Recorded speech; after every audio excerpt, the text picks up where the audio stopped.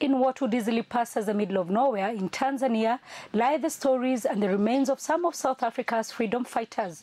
Welcome to Mazimbu, west of Tanzania's capital, Dar es Salaam. You are at the University of Sokoine's Solomon Mahlangu campus. mina ngiyafuna ngiyeshela mazimbu ngifuna umandela day iwe It is here that we meet Ali Mkopa. Mkopa was here as a small boy when the first batch of ANC freedom fighters arrived here seeking political asylum. They were on the run from the apartheid regime. Tanzania's then President Julius Nyerere offered them land. ANC wamekuja mwaka sabini The ANC came here in 1978, 1979, and in 1980. At that time, the place, a sisal plantation, was known as Mazimbu. Here, the freedom fighters started life anew. At least five districts in Tanzania became their home. walikuwa hawana uhakika wa kurudi South Africa. They really had no hope of going back home. They felt at home here. The situation at home sometimes made it look like they would never return. 21 countries contributed to ensuring their stay in Tanzania was comfortable and meaningful.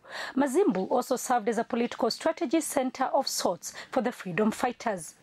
Some of the top ANC officials then and now, as well as men and women who went on to lead South Africa after independence, spent the better part of their lives and that of the liberation struggle here in Mazimbu. Makamu wa rais wa South Africa Many South African leaders were here, and some came back since they left in 1992. Oliver Tambo was their leader. In fact, he's the one who lived here longer. Tlangu was executed in 1979, a year after the first ANC liberators had landed here in Tanzania in a place called Mazimbu. In his honor, this institution was renamed. To date, it is known as the Solomon Mahlangu campus. The Solomon Mahlangu Freedom College, SOMAFCO, was set up for the growing number of ANC exiles coming just after the 1976 Soweto uprising.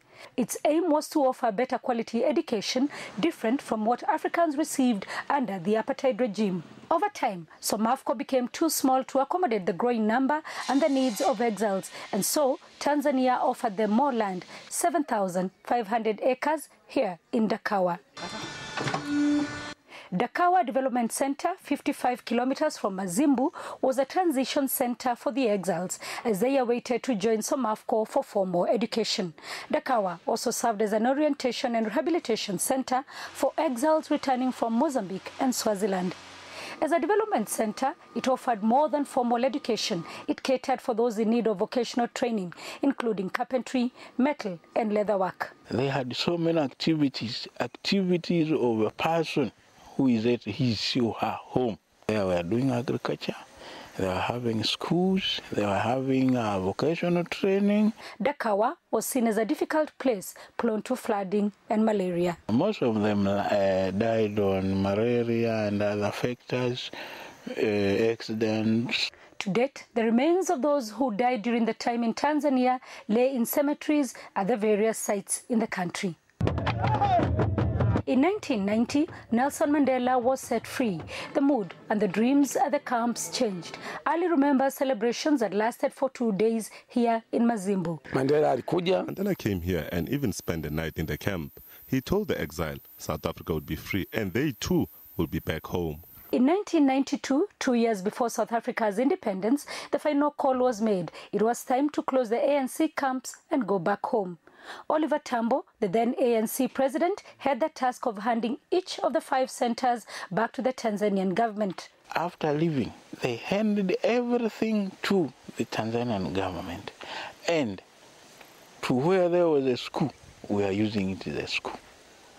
To where it was a dispensary, we are using it as a dispensary. So MAFCO existed for only 15 years, 15 years that may have defined the future of a free South Africa's education system. Sarah Kimani, SABC News, Morogoro, Tanzania.